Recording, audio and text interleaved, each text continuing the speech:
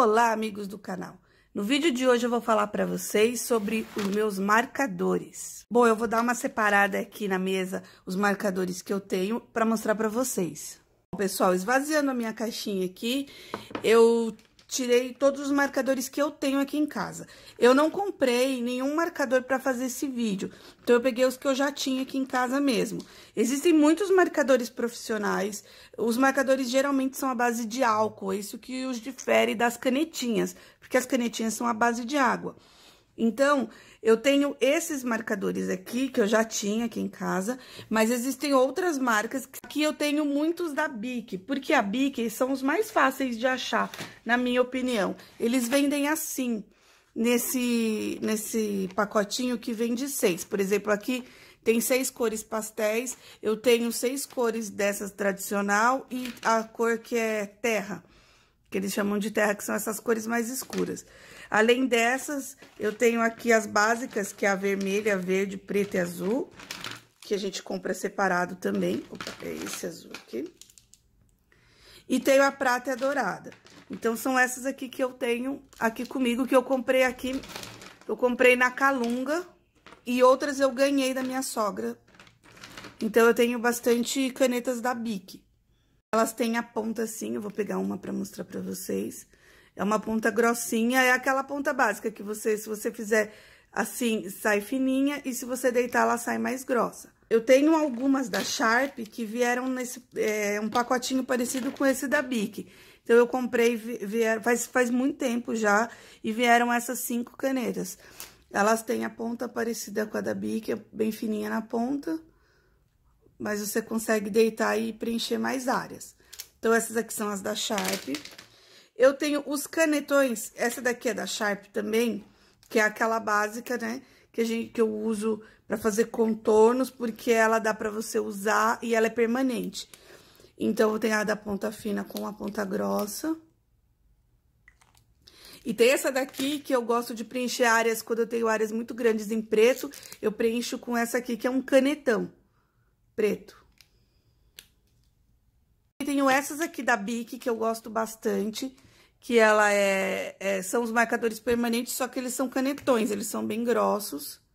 Então, quando é para preencher uma área muito grande, só que só tem dessas cores, só tem preto, azul, verde e vermelho.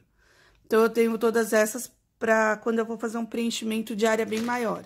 Essas aqui eu comprei não faz muito tempo e eu devo dizer para vocês que me surpreendeu, eu gostei bastante. Depois eu vou mostrar para vocês uns desenhos que eu fiz com ela. E é um marcador simples, é da marca Espiral, eu comprei lá na Calunga. E ela tem essa ponta igual, só que ela custou 10 reais, essas quatro canetas aqui. E elas vendem um pacote com quatro pretas, acho que quatro azul. Então, ela é legal também, é um preço mais acessível. E para finalizar, eu vou mostrar as minhas Magic Color. Marcadores brasileiros. E esse aqui que tem a embalagem dourada são os permanentes, né? São a, a, os marcadores é, à base de álcool. E assim, o que o pessoal sempre fala muito dessas canetinhas é que a, a, esses marcadores, na verdade, é que a tampa geralmente não condiz com a cor da, da, da carga dela. Então, aqui, o que, que eu fiz? Eu coloquei umas... É, é, uma etiquetinha, eu pintei e aí eu coloquei para eu saber qual é a cor precisa dela quando seca. Porque quando a gente for usar, ela úmida, ela é mais forte. Então, aqui eu coloquei um adesivinho, é, tá vendo aqui, ó, esse rosa é diferente desse rosa, né? Não é igual. Então, eu coloco aqui para sempre levar em conta a cor quando ela seca, que é essa daqui que eu já colei. Ela tem a ponta chanfrada.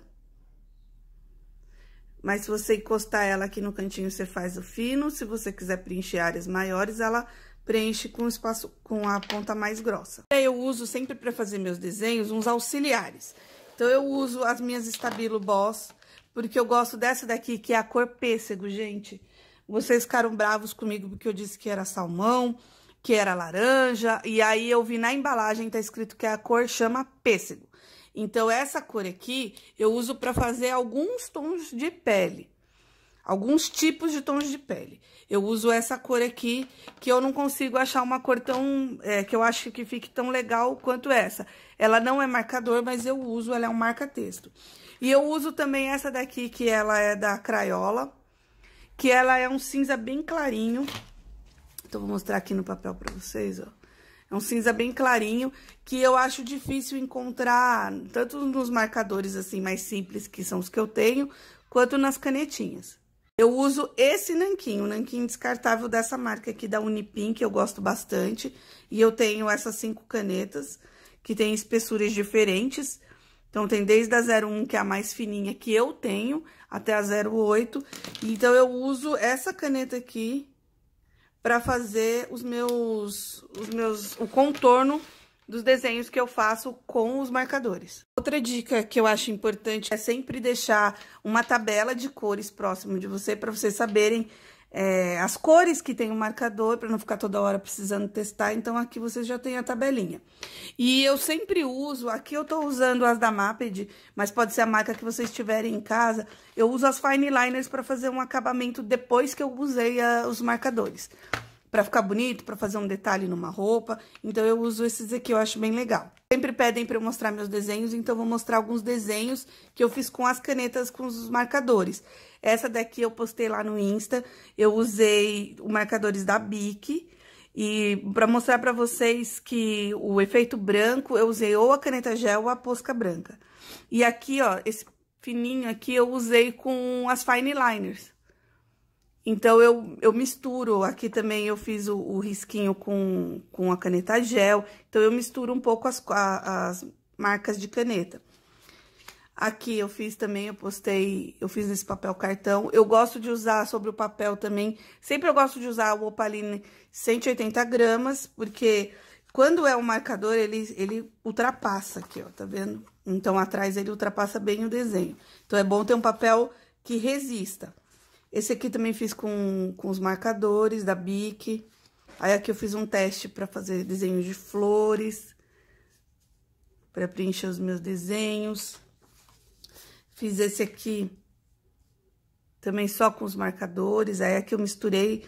Também usei aqui as fine liners para dar um, um detalhe assim diferente. Então, eu coloquei as fine liners aqui para fazer o contorno.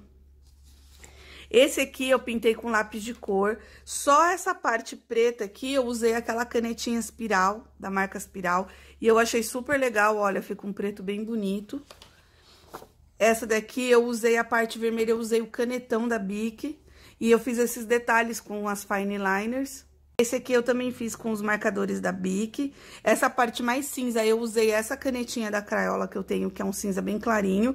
E tá vendo aqui, pra dar um charminho, eu usei as Fine Liners pra fazer esse fundo amarelinho. Gente, eu vou fazer esse desenho aqui que eu já contornei. Eu sempre começo contornando com a 0.1, que é a mais fina que eu tenho.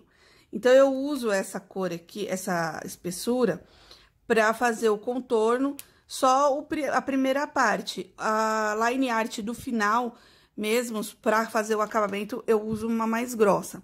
Então, agora eu vou tentar usar uma de cada marca, pelo menos, para vocês poderem ver como é que elas funcionam.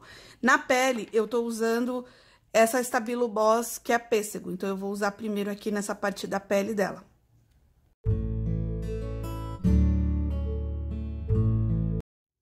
Eu vou usar essa Magic Color rosinha, Vou dar um zoom aqui pra ficar mais próximo. E aí, eu vou fazer uma marcaçãozinha pra fazer a bochechinha dela. Só com a pontinha.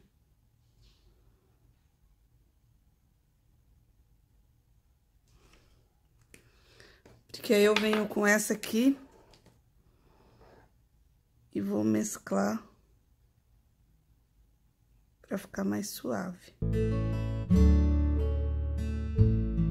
Cabelo dela eu vou usar a Bic, essa azul clara.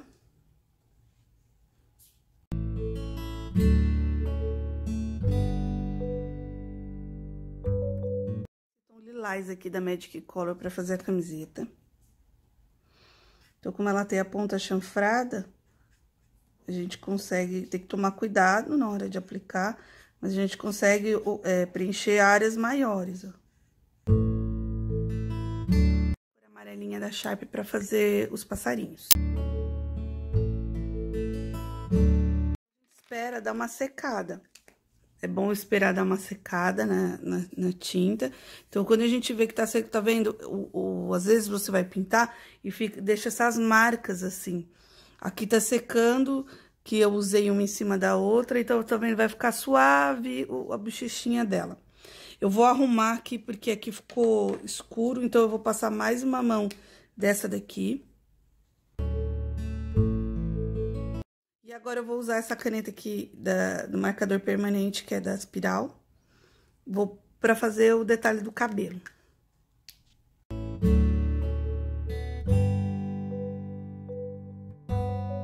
Tom amarelinho aqui da Bic para arrumar essa parte da pele.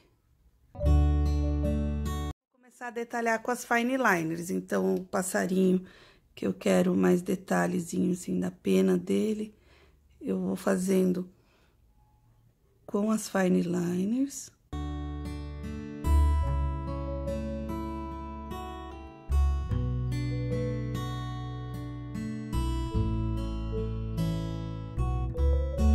Vou voltar com o lilás que eu usei aqui para fazer a camiseta dela e vou fazer uns detalhes finalizar, eu vou contornar com a 08, depois fazer os detalhes com a branca.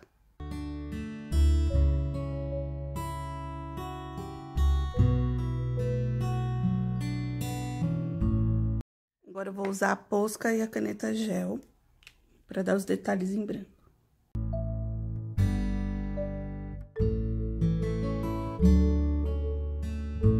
Pessoal, então é isso. Eu espero que vocês tenham gostado do vídeo. É assim que eu uso os meus marcadores.